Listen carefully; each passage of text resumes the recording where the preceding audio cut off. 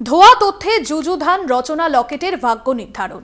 মিমের উত্তর রিলে দিলেন হুগলির তৃণমূল প্রার্থী রচনা বন্দ্যোপাধ্যায়। এ ধোয়া বিড়ি সিগারেটের নয় কলকারখানার ধোয়া। এবার কি বলবেন? জবাব দিদি নাম্বার ওয়ানের। এই ধোঁয়া হচ্ছে সেই ধোঁয়া। এটা বিড়ি সিগারেটের ধোঁয়া নয় যেটা আমাদের বিরোধী পক্ষরা বলছে যে বিড়ি সিগারেটের ধোঁয়া দেখেছে রচনা ব্যানার্জি। বিড়ি সিগারেটের ধোঁয়া নয় এটা আমাদের কলকারখানার ধোঁয়া। শুধু মুখে নয় এবারে এক্কেবারে হাতে নাতে প্রমাণ। রিল বানিয়ে ধোঁয়া তথ্যের, থুরি। হুগলির শিল্পোন্নয়নের খতিয়ানও দিলেন তৃণমূল প্রার্থী রচনা বন্দ্যোপাধ্যায়। আমি যেরকম দেখেছিলাম, সেই জায়গায় দাঁড়িয়েছি আজকে আবার, যেখান আমি বেরিয়ে চলে গেছিলাম, কিন্তু তখন আমি ছবি বা কথা বলিনি।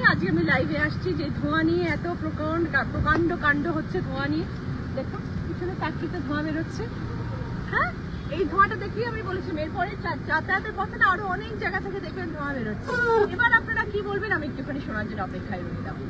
কয়েকদিন আগে সিঙ্গুরে ভোট প্রচারে গিয়ে শিল্পায়নের কথা শোনা যায় তৃণমূল প্রার্থীর গলায়। তার দাবি সিঙ্গুরে যাওয়ার সময় অনেক কারখানা দেখেছেন তিনি। চিমনি থেকে শুধু ধোঁয়ায় বেরোচ্ছে। এত কারখানা রয়েছে। এমন মন্তব্যে সোশ্যাল সাইটে কটাক্ষের মুখে পড়তে হয় রচনাকে। বিড়ি সিগারেটের ধোঁয়া না কলকারখানার ধোঁয়া তা নিয়ে ছড়িয়ে পড়ে মিম। আমি যখন এলাম তখন তো দেখলাম অনেক খোলা আছে।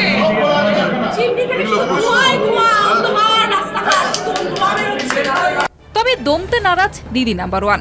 হাতে মুঠোফোন নিয়ে সিঙ্গুর পান্ডুয়ার পথে বানিয়ে ফেললেন রিল। হলদের ফ্রেমের বাহারি চশমা ও পোশাক পরে ধোঁয়ার প্রমাণ দিলেন তৃণমূল প্রার্থী। উল্টো দাবি বিজেপি প্রার্থী লকেট চট্টোপাধ্যায়ের। সিঙ্গুর ডানলপ থেকে শিল্পায়ন শ শ মাইল দূরে, দাবি বিজেপি নেত্রীর।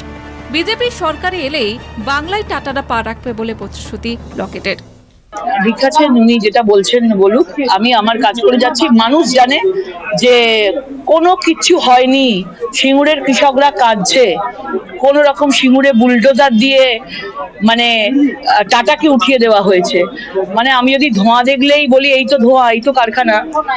আমি কিছু বলব না, উনি ওনার প্রচার করছে, করুক। আমি তো কোনো ডেভেলপমেন্ট দেখতেই পাচ্ছি না। সত্যিই তো বাংলায় ডেভেলপমেন্ট হয়নি।